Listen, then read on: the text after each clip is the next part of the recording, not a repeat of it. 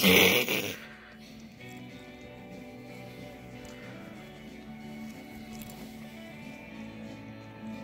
he let me hold his teeth for so long.